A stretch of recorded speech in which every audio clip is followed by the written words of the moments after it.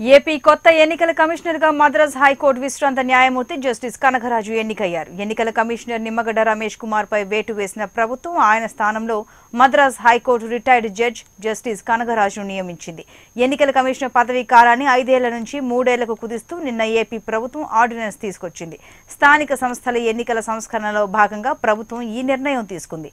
ప్రభుత్వ తాజా ఆర్డినెన్స్తో నిమ్మగడ్డ రమేష్ కుమార్ పదవీ కాలం ముగిసినట్టయింది. ఆయన గత నాలుగేళ్ళుగా ఈ బాధ్యతల్లో ఉన్నారు. ఆర్డినెన్స్ అమల్లోకి రావడంతో రమేష్ కుమార్ పదవీ కాలం అర్ధాంతరంగా ముగిసిపోయింది.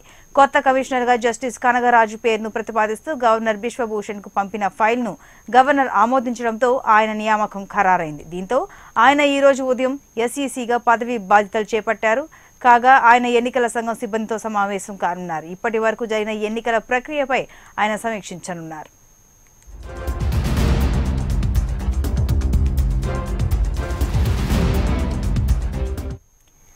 అలాగే ఏపీ మాజీ ఎన్నికల కమిషనర్ నిమ్మగడ్డ రమేష్ కుమార్ హైకోర్టును ఆశ్రయించాలని నిర్ణయించుకున్నారు. తన పదవీ కాలం కుదింపుతో పాటు తనని తొలగించడాన్ని నిమ్మగడ్డ సవాల్ చేస్తూ ఈ నిర్ణయం తీసుకున్నారు. ఇవాళ రేపు సెలవు కావడంతో హౌస్ మోషన్ పిటిషన్ దాఖలు చేయాలని ఫిక్స్ అయ్యారు.